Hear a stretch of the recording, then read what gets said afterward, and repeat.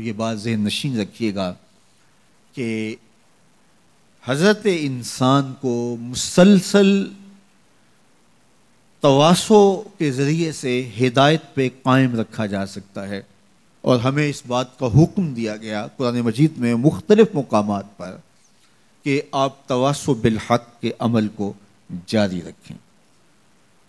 اور جب کسی معاشرے کے اندر لوگ وصیت کرنا چھوڑ دیتے ہیں، خیر کی بات بتلانا چھوڑ دیتے ہیں، تلقین چھوڑ دیتے ہیں، تو پھر اس کا نتیجہ یہ ہوتا ہے، وہ معاشرے تباہ ہو جاتے ہیں۔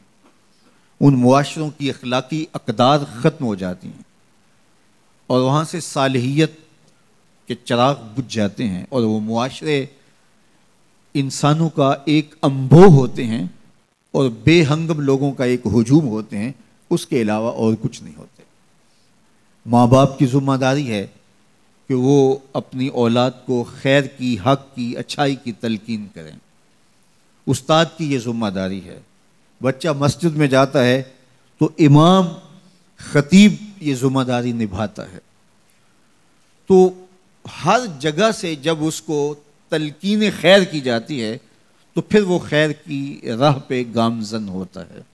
عمومی طور پہ ہمارے ہاں یہ کہا جاتا ہے کہ آج کسی کو کہنے کا وقت نہیں رہا، کسی کو کہنے کا زمانہ نہیں رہا۔ تو ٹھیک ہے، اپنے گھر میں کچھ چھاج بجائے یہ چھلنی ہمیں کیا قرض اور ہمارے پنجابی میں کہتے ہیں سانو ہی لگے۔ تو یہ جو ایک تصور پیدا کیا گیا کہ سانو کی لگے، یا اپنے گھر میں کچھ چھاج بجائے یا چھلنی بجائے، ہمیں کیا اس سے غرض؟ تو اس نے معاشرے کو برائی کا راستہ دیا ہے۔ اللہ کے محبوب علیہ السلاۃ والسلام نے کتنی خوبصورتی کے ساتھ اس چیز کو بیان فرمایا کہ لوگ سفر پر گامزن ہیں اور بحری سفر ہے۔ اور کشتی میں لوگوں نے اپنی اپنی جگہ طے کر لی کہ یہ میری جگہ ہے اور یہ آپ کی جگہ ہے۔ اور ایک شخص اپنی ہی جگہ میں جو اس کے لیے مخصوص ہو گئی، سوراخ کرنے لگ جاتا ہے۔ اور اگر سارے یہ کہتے ہیں کہ ہمیں کیا لگے وہ اپنے حصے کی جگہ میں سوراخ کر رہا ہے، اس کا ہاتھ نہیں پکڑتے، اس کو روکتے نہیں، تو پھر وہ تو ڈوبے گا ہی ڈوبے گا، تو یہ بھی سارے ڈوبیں گے۔ تو اگر یہ اس کا ہاتھ پکڑ لیتے ہیں، تو نتیجہ کیا ہے کہ وہ بھی بچ جائے گا اور ان کی جان بخشی بھی ہوگی۔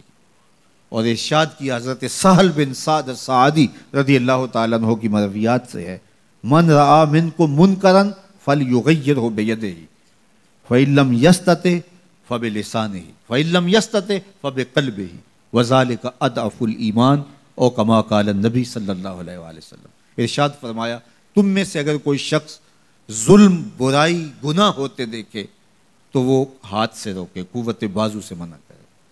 اور اگر اس کے پاس یہ طاقت نہیں ہے، تو زبان سے روکے۔ اور اگر یہ صلاحیت بھی نہیں رکھتا، تو دل سے برا جانے۔ اور فرمایا ظال کا اد اف المان یہ کمزور ترین ایمان کی علامت ہے۔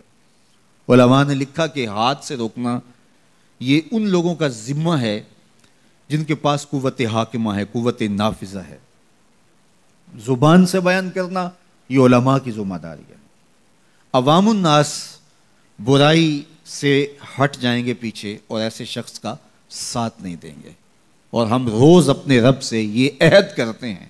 وہ نخ لاؤ و نت روکو میں یف جو یہ ہمارا عہد ہے جو ہر روز اپنے رب سے ہم کر رہے ہوتے ہیں. مالک جو تیرے حکموں کو توڑنے والا ہے، تیری شریعت کا باغی ہے، تیرے احکام سے روگردانی کرنے والا ہے، ہمارا اس سے کوئی تعلق رب نہیں ہوگا.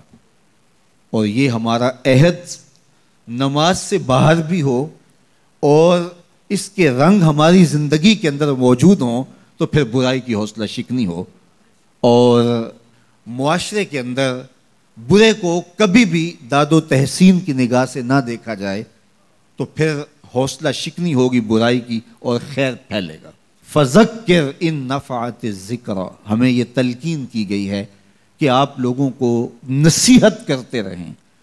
نصیحت لوگوں کو فائدہ دیتی رہے گی۔